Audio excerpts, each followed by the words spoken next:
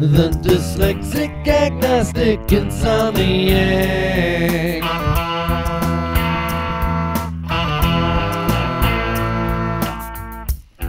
He's living his life in a fog. He can't tell left from right, he lies awake at night. really is it down.